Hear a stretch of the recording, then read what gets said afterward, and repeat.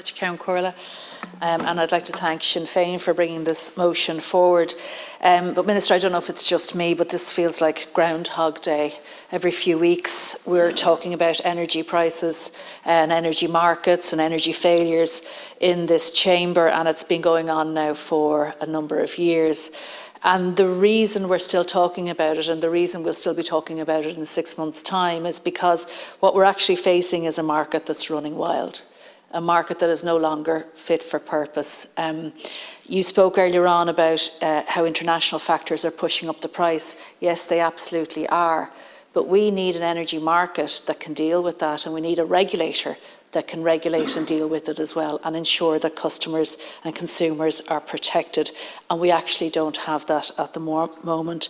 So I think there's a fundamental need here for market reform. Um, in light of the changing energy systems, we're moving into a very different uh, energy generation makeup. Um, and I think that there is need for, for a fundamental uh, reform of, of our markets. But I do also think we also need to look at the role of the CRU and their place in this. I just see in your speech, Minister, you talk about the CRU has announced consumer protection measures. And really, when you look at what the protection measures are, it's essentially ways to help consumers pay back the bills that they've racked up because the energy companies have hiked up the prices. That, in a lot of instances, is what it is. It's uh, payment plans. It's um, you know saying, okay, we won't disconnect you now because it's winter time, but you know, come come summer, we want you. Uh, you know, you will be in a position where you'll be disconnected if you don't pay back the money that you owe us. So I think what we have is, is a system and a market uh, whereby that's not serving our people, but one where people are serving it. And what I've seen over the last couple of years is government running around trying to prop this up. So when there has been issues in relation to price hikes, government, I think it's 4 billion you outlined, uh, that has been spent so that money has gone directly to energy companies because the prices were too high and people couldn't afford it. So the market has government and it has taxpayers' money working for it. Um, and I don't think that that is uh, where we need to be. And so with the CRU, it does need more uh, power, it needs teeth, and it needs to be able to protect people. It needs to be able to cover, um, as the Sinn Féin motion has outlined, it needs to be able to cover uh, things like the standing charges. We need to have a better understanding of the hedging that companies have used because it's incredible that I understand that hedging you know, has an 18 month time frame, but it's incredible how quickly the prices went up when they also would have hedged at that point at a particular price but they still managed to work those uh, price hikes in there. We're not seeing it fall in, equ in equivalent fashion. So I think there needs to be transparency around the hedging process.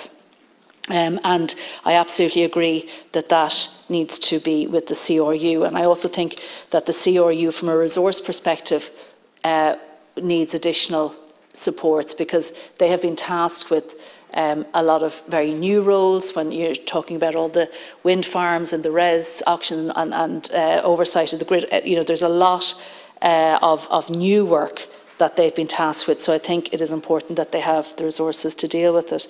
Um, when we're talking about prices, and I've spoken many, many times about the impact that this is having on individuals and homes and the difficulties that it's causing people, um, I'd like to focus a bit more on businesses today because I, you know, I, I understand that government has actually given support to businesses, but Minister, it's not helping anymore. And that's the reality of it. Uh, I've spoken recently to a business in Wicklow. It's a restaurant, uh, cafe business. Um, and the owner of that said her average monthly bill for electricity in 2021 was 2,000 euro. In 22, it increased to 4,000 a month, and in February of this year, it increased because they are now out of contract. It is now 8,900. They will not survive these uh, price increases, and they recognise and they welcome the supports that government gave them, but they're making the point that it is no longer enough. Um, and actually, what's going to happen is if they go out of business, they've had a number of years, as have all hospitality sector, a number of years where considerable government supports were given them to, through the pandemic. They managed to keep their head afloat during the pandemic. They managed to keep going. And they got out of the pandemic and they got back on their feet and now they're being hit with energy costs. And it's just too much for them to take. Unfortunately, there's two very, um, very popular uh, cafes in, in Wicklow that in the last couple of weeks have actually closed their business Maka Joe's in Rathdrum and Little Betty's in Avoca. And they were small little cafes, but they were the core of the community, incredibly popular. So they didn't just serve coffee, they served community. And now they're gone. Um, so we're starting to see that these small businesses can no longer take the pressure. Interestingly, uh, this business owner told me that um, apparently, energy providers require a security deposit of between five and 7,000 for those if they want to take a new contract in the hospitality sector. So I'd be interested, I, I, don't know whether you've heard that, I'll be looking into it further, but you know, that, that's huge money for, for small businesses to cover.